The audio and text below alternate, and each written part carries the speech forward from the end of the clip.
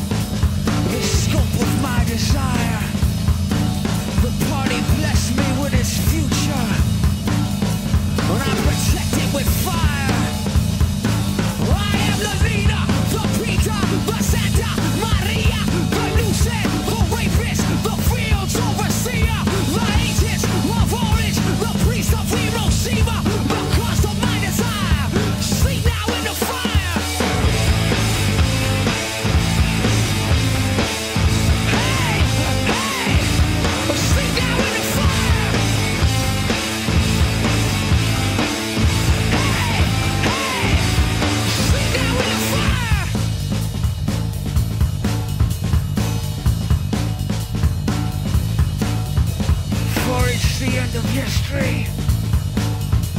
It's caged and frozen still.